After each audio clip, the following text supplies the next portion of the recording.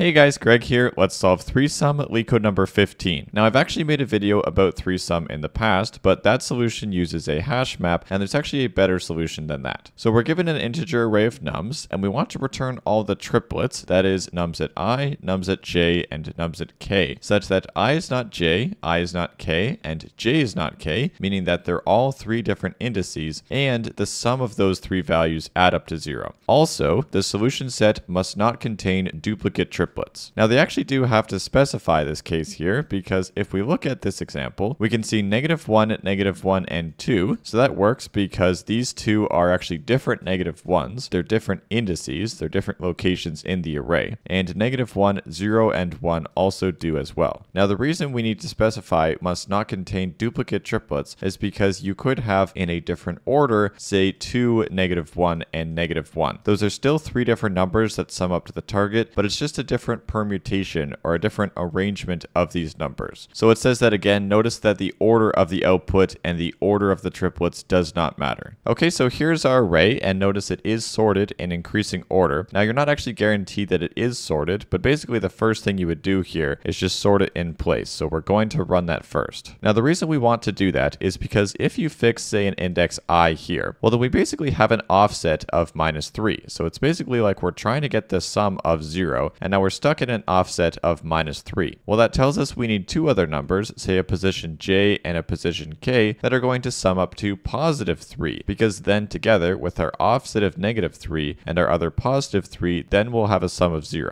Now, instead of just calling these j and k, which are generic variable names, we're going to call them low and high, basically because we're going to do a two-pointer squeeze technique. So now with this offset of negative 3, we're basically going to do a squeeze through this region here, where low is going to increase this way and high is going to decrement this way. So we have our offset of minus 3 from i, and then from low we have another minus 3, and from high we have a positive 3. This is going to equal negative 3, and that sum is too small. We're looking for a sum of 0. So we need to try and make our sum bigger. To make our sum bigger, well, it's sorted. So we can actually guarantee that if we move high to the left, that's the wrong thing to do, because that would make our sum smaller. If we move low to the right, that's guaranteed to make our sum a little bit bigger. Actually, it's not because if you had another minus 3 in this position, well then this wouldn't actually change it at all, and so that wouldn't be very helpful. But luckily, this is a negative 2, so this will make our sum minus 3 and then minus 2 and positive 3. That's a little bit better. That's going to be a sum of negative 2. We need to keep this going here, so we'll move low over a little bit. That's going to make it a sum of minus 1. We're really close here, and then when we increment low again, low is now 0. We have minus 3 and positive 3, so we get our total sum here of 0. So that tells us that if we're keeping track of our answer here, I'll just call it ANS, well then our first solution is going to be in whatever order you want, it really doesn't matter, negative 3 and 0 and 3. So that is one solution we have. We want to keep our offset at minus 3 because we might find other solutions here with our other two numbers, but we found one with these three numbers. Well, we are keeping our offset the same here, but now 0 and 3, we do not want to use either of 0 and 3 again. Think about it. If we could use 0, well then what other number would we be looking for? We'd be looking for 3. That's the only other thing that works. Conversely, if you kept the 3, well then the only other number that works is 0. So what that tells us, if say for example these were zeros and this was a 3, well then you don't want to use any of these zeros and you don't want to use this 3. We want to move low and high over, but we do not want to keep them on the same numbers. So we want to move them over until there's new numbers numbers. Okay, that's already a new number. And this also is going to be a new number as well. Okay, so we actually found another solution there because we have minus 3 and we have 1 and 2. So that's another solution. We'll move these over until they're new numbers. That is a 2, that's fine. And then we'll move high over until it's not a 2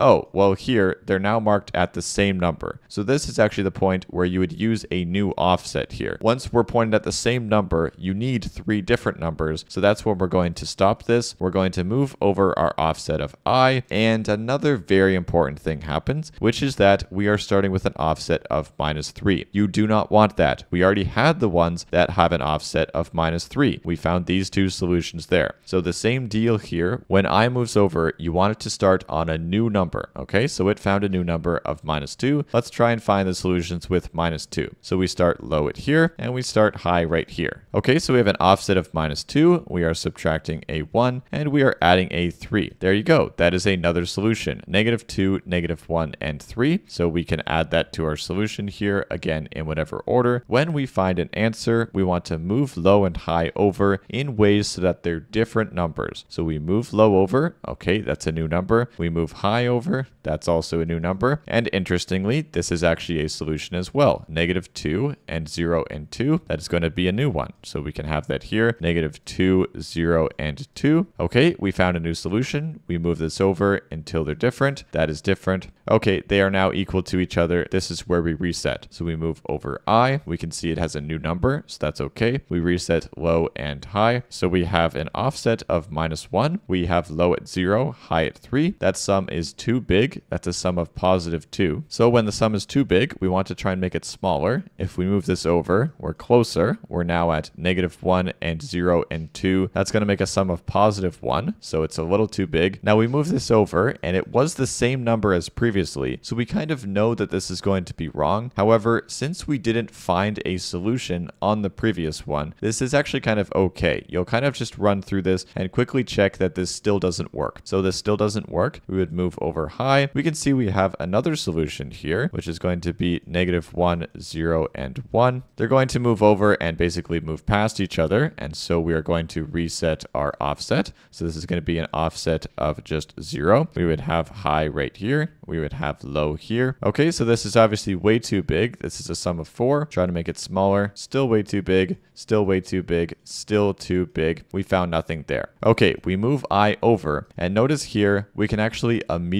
break and conclude there's nothing left. If our offset is at a positive number, well then we kind of need negative numbers to get down to 0. If you have positive 1, you need to subtract stuff to get closer to 0. And having low and high over here, these are not going to give you negative numbers, because if this one's positive and these ones are going to be strictly greater than that, then your whole sum's going to be positive. So when i, your offset index, gets positive, you can definitely conclude there's nothing left because everything would just be a huge positive sum. Okay, so let's think about time complexity here. Well, i is just going through the array. You can think about i as a for loop going through the array. And for each of its positions where it's an offset, we have basically a while loop over low and high. So i is going to have basically n positions, and for each of those, low and high are going to be O of n themselves because they're going to squeeze through each other. And so the time complexity of this whole thing is going to be basically a for loop with a while loop inside of it. So that's going to be O of n squared. And the space complexity of this, well, other than the solution space we're storing, we're not really taking up any space. However, what's kind of interesting is by sorting this thing, in most programming languages, you're actually going to have a space complexity of O of n in that sort. Even though you can sort in place, the most efficient way to sort, this is kind of an interesting discussion, and I'm just kind of going to leave this out of it. So because of that, the space complexity is actually probably going to be O of n, although this might actually be language dependent. Depending on the implementation, you can probably do this in constant space by sorting it in place. Okay, so let's code this up. Okay, so then as we saw, we're going to sort the numbers. We can do that in place with nums.sort, and we'll get n is equal to the length of the numbers. Now we'll build up an answer array, so we'll just call that answer as an empty list, and then we'll iterate through the array. So for i in the range of n, this is going to be that first starting number. Okay, then if nums at i is bigger than 0, so if the value at our first index is positive, well then our other two indices, low and high, they will be bigger than i, and so they'll also be at positive numbers. That's just going to generate a totally positive sum, and in that case, we're actually ready to break out of the loop, because it's just going to get more and more positive as i increments through the array. Okay, then we also have another optimization here. Otherwise, if i is greater than 0, we just ask that to check this safely, and nums at i is equal to nums at i minus 1. So if nums at i is the same value as it just was, well then we're starting with the same value, and if we carry on with this, this is just going to generate duplicate solutions. So in this case, we just want to continue, which will restart the loop and increment i. Then outside of this, we're ready to try and do some checks with low and high. So we'll set those up. Low and high are equal to low is going to be i plus 1, and high is going to be at the end of the array at n minus 1. Then while low is less than high, we want to do that kind of squeeze technique. So we'll get our current sum is equal to the nums at the three indices, so nums at i plus nums at low plus nums at high. Now if the sum is equal to 0, okay, that's great. We found a solution. So we just want to answer dot append the list of nums at i, nums at low, and nums at high. So low will increase to low plus 1, and high will decrease to high minus 1. And we need to make sure that they did not fall on the same values here. So while low is less than high, we still need to make sure that those are in bounds there. And we have that nums at low is equal to nums at low minus 1. So again, while nums at low is equal to the same value as it was previously, we don't want to use the same number, so we'll just set low to be going up by 1. And basically the same condition here, but for high, we need to make sure it's not on the same value, so we still need that condition, and we need while nums at high is equal to nums at high plus 1. So since high moved over to the left, we need to make sure that nums at high is not equal to the value it was on the right. We will do high is going to go down by 1. Okay, then outside of that, it's actually pretty simple. It's just otherwise, if the sum is less than 0, we just need a higher number for low to get a bigger sum. So low is going to go up by 1. Otherwise, our sum is too big, and so we need to high minus equals 1. That will decrease. Okay, so outside of that, we really just need to return our answer at the end of this loop here. If we are to run that, we'll see it will work, and it will also pass our test cases very quickly. Okay guys, drop a like if you found this helpful. I hope it was, and have a great day. Bye-bye.